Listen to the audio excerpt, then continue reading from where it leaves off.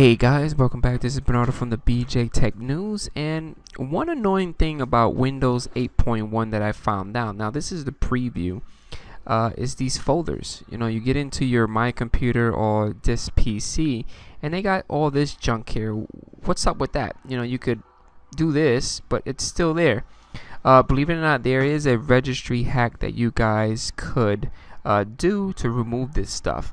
So what you want to do is you want to go into Windows R and type in registry edit. So let's do that reg edit. Hit enter. And we're going to hit yes. Now the place that you guys want to go into is local machine, software, Microsoft, and you want to go all the way to the bottom where it says Windows?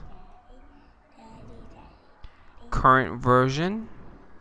And you want to look for the Explorer. And my computer my computer and namespaces.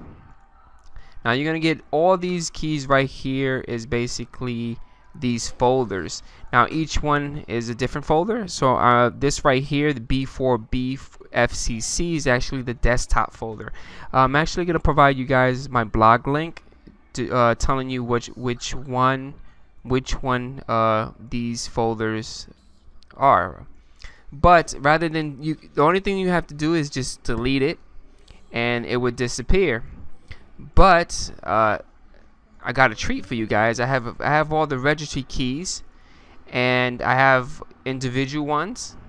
I have the remove all and the restore all. So let's let's try this. So I'm gonna do another File Explorer and go to my this PC, and I'm gonna double click on remove all folders. Hit yes. I wanna merge it. Press OK, and let's refresh it. And it's gone, guys. That's it that is how you guys remove the all folders section within this PC if you guys want it back just hey restore all hit yes okay and just refresh your your thing.